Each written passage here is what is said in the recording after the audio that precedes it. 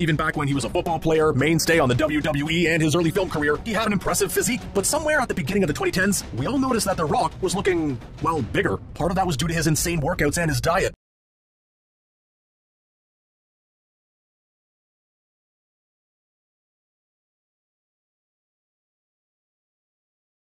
What's up guys, Derek, moreplates Today we're going to be talking about Dwayne The Rock Johnson again. So a while back I had a pretty popular video talking about his, uh, what I speculate to be probably his like uh, enhanced version of HRT. So a lot of guys, they will be on like, especially at his age and his size and with his athletic requirements to prepare for roles and whatnot, um, it is essentially like an expected thing for these guys to be on at least bioidentical HRT. You know, these guys are going to be on, like if you're pushing 50 years old and you're pushing 270 lean, what is the probability that you're going to be operating with just your endogenous testosterone production that's declining by the year and somehow maintaining a physique that is superior to your prime, you know, like mid 20s physique when you were, you know,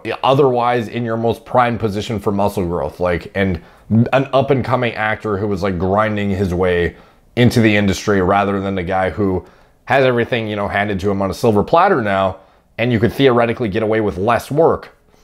You know what? Like, obviously, this guy works hard as fuck. That's kind of irrelevant to what I'm saying. I'm just saying that the probability your physique is going to be better you know, almost 30 years later when you were an athlete since your teens, a high caliber one too, and now all of a sudden you somehow managed to pack on another, you know, 20, 30 pounds of lean tissue 20 years after your prime, you know, it makes no fucking sense. So for this guy, like my assumption was he was probably on like a reasonable TRT dose with, you know, a couple IUs of GH, you know, a standard kind of HRT regimen and uh, probably ramps it up for uh, production. You know, when he goes into play uh, Fast and the Furious roles, when he goes into play anything that requires him to get, you know, add a bit of, uh, you know, super physiological size, it would involve more than just your standard TRT, presumably. So for him, you know, obviously longevity is probably at top of mind for him as well.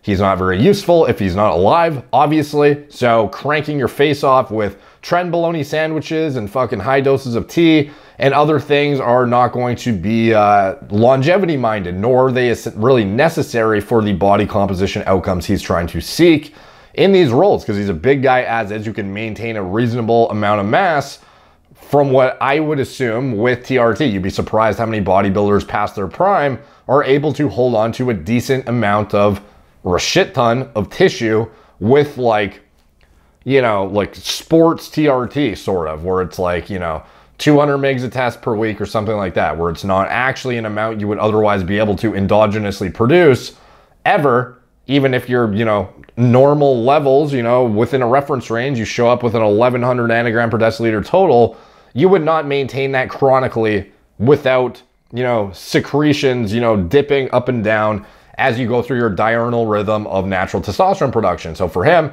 you know, if you have a chronic bleed of even, you know, 1100, 1200 nanograms per deciliter, that is probably sufficient to maintain the majority of his size. And then when he gets to uh, big roles that he has to prepare for, I would assume things get pushed up a bit to a within a reasonable amount that is not going to put his health in massive amounts of jeopardy. Obviously, it is a risk to reward thing at the end of the day, and the risk is you know, outweighed by the reward in that pushing the dosages up are going to yield you the physique that would otherwise, you know, be more uh, complementary for the role. So I would imagine the T goes up a bit. He probably throws in some nandrolone on top because HRT clinics often do that nowadays, even though it's not technically HRT at that point. It's basically just a mini cycle. So that was my speculation at the time. And uh, a lot of you guys were sending me this Phase 2 training for Black Adam. The hierarchy of power in the DC universe is about to change.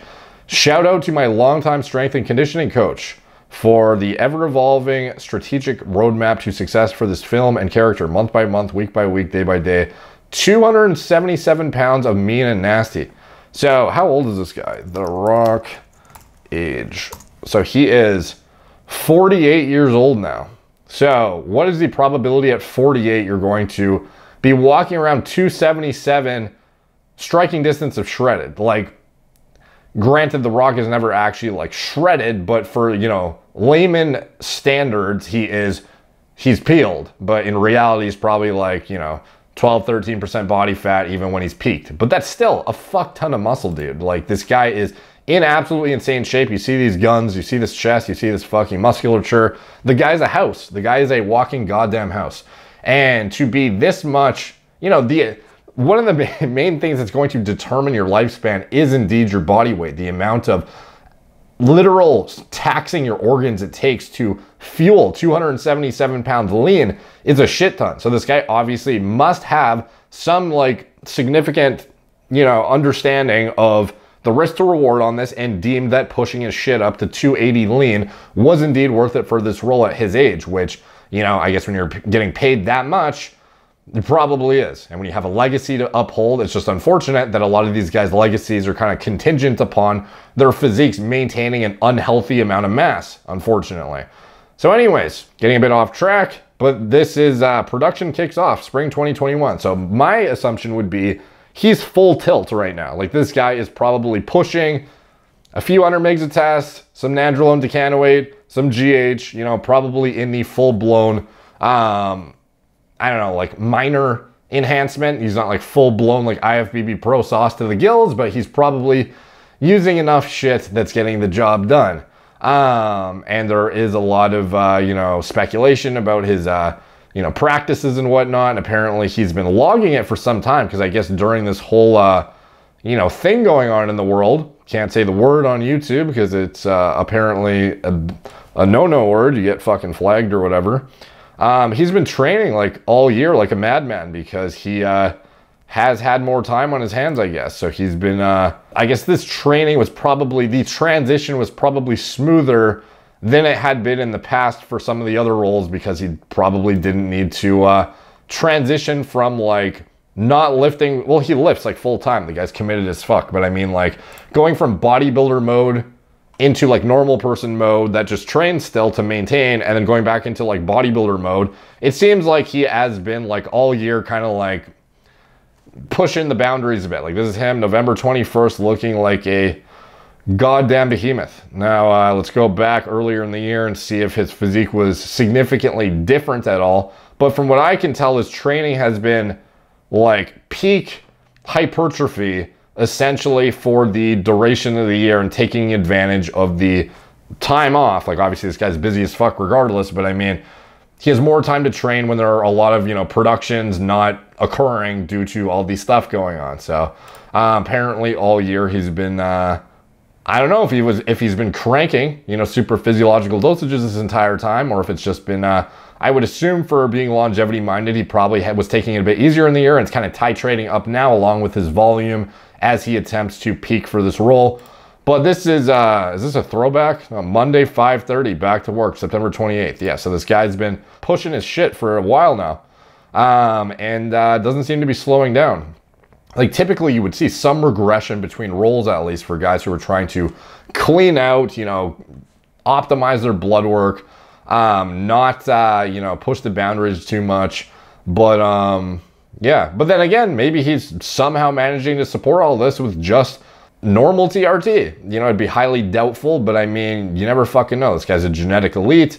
Um, and anything is possible, I suppose. So, like, here he was in July 26th, looking just as lean and mean, frankly. I don't think he looks uh, much different. You know, maybe a little bit less mass, actually, than the uh, November shot where he was looking uh, beefy as all fuck.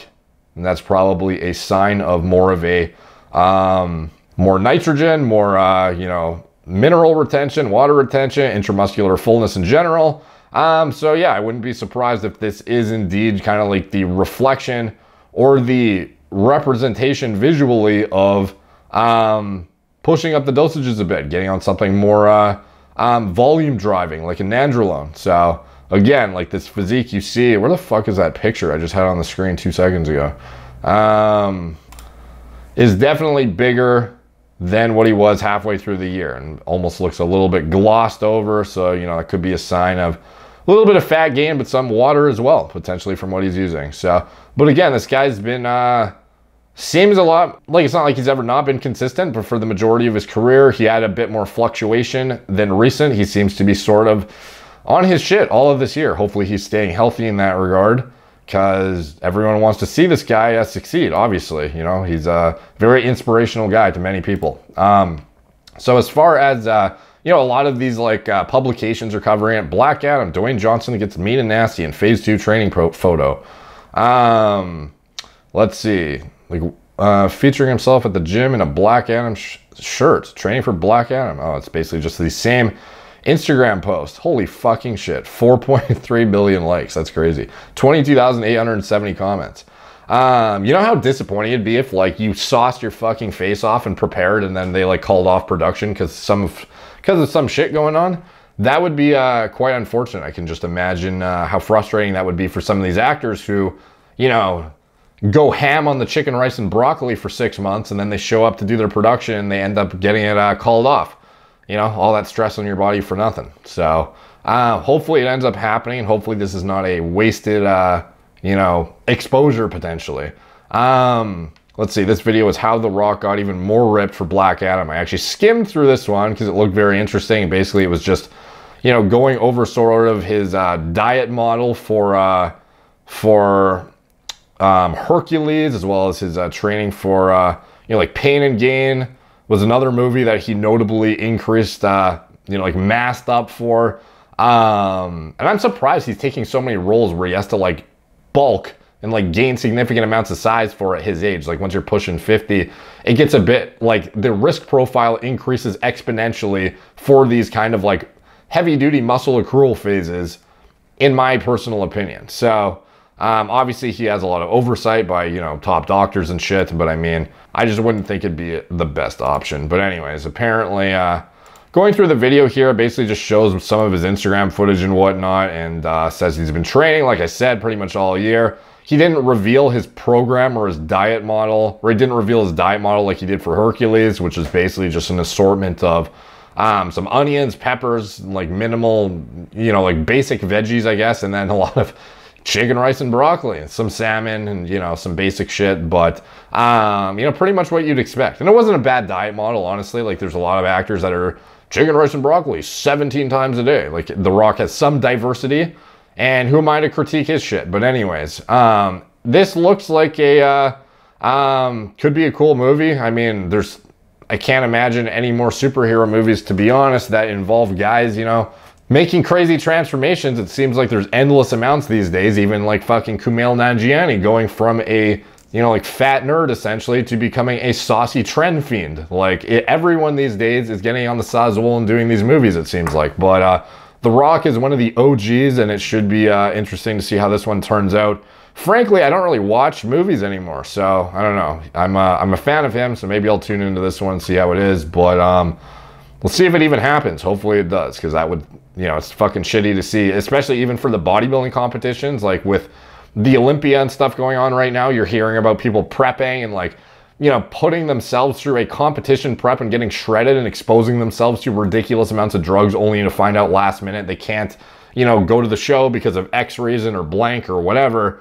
And it's just, I can't even imagine, you know, having something that significant be pulled away from you last minute after the amount of preparation work and taxing of your literal fucking organs that you went through in order to present like an optimized product to the world to monetize and like make your living. Like it would be fucking nightmare, dude. So hopefully it works out and uh, hopefully the movie's solid. Um, the uh, you know promotional images look cool, so I don't know, but um, that is uh, my overarching stance. I think he is probably uh, pushing the TRT a bit above TRT now. It's probably uh, getting into the realm of what I outlined in my first video with the combo test with adjunct nandrolone to drive uh, volume. Um, so obviously, some injury prevention benefits as well through that. Um, enhanced leverage in the gym, better just overall fullness and achieving that level of mass that would be necessary to have an intimidating presence as a um, whatever superhero, supervillain, whatever the fuck this guy is. I don't follow enough of. Uh, the DC universe to even know what I'm talking about when I look at Black Adam, but I know Sazul, so that's what I'm gonna fucking talk about. So, and some GH in my opinion. So, anyways, that would be my guess. Let me know what you guys think in the comments down below. Are you looking forward to Black Adam? What do you think about The Rock? cranking at uh, near 50. Not that we should be the ones giving him life advice, but I mean, I don't know. Any comments help the algorithm, so why not? You know, helps out helps out the channel. It's much appreciated when you guys drop them down. Sparks some good debate sometimes. It also gives a lot of good feedback to newbies who don't realize the risks associated with these compounds and may otherwise learn something when they go through the comment section. So obviously the educational components from my more veteran guys is more is uh, much appreciated too for a lot of the newbies that come in and then see, you know, sort of the, the community here and then get an idea of what they're getting themselves into and maybe make us, you know, second or third uh, thoughts about what they may be uh, about to inject into themselves once they read more about it and learn more about it. So all that shit's much appreciated and uh, helps boost the algorithm and whatnot. And uh, yeah, thank you guys for watching. If you want to support the channel, you can check out anything I'm associated with in the video description down below. Um, yeah, that's it. Thank you guys for watching. Talk to you soon.